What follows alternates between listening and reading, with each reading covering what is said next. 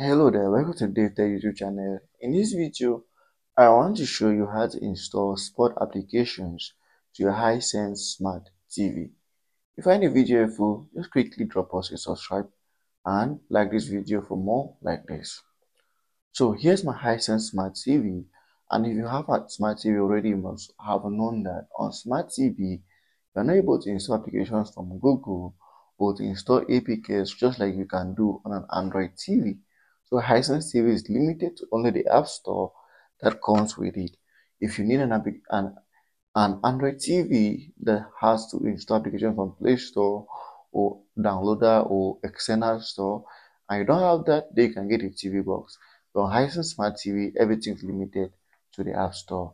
But nonetheless, there are a couple of lots of good applications in the App Store that you can install. And in this video, I want to show you how to install the sport applications in this app store. So this is quite simple. What you have to do is just launch your app store on your Hisense Smart TV and wait for it to load.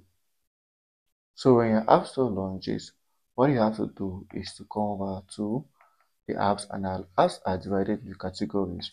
Remember we are looking for the sport applications. So what you have to do, is just scroll down viewing the categories until you see the category that says sports app.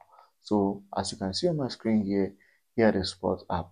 And altogether on this app store, there are 16 different sports apps that you can install to a Hisense Smart TV.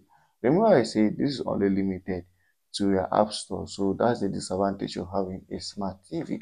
But you can just go through them to see anyone that you want to install to your Android or smart TV.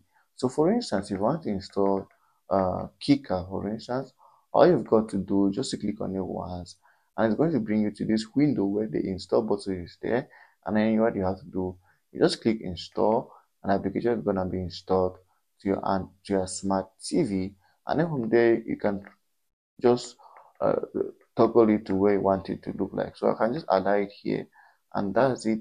That's kicker being installed already to my Hisense smart tv if you found the video helpful please subscribe to youtube channel for more important videos like this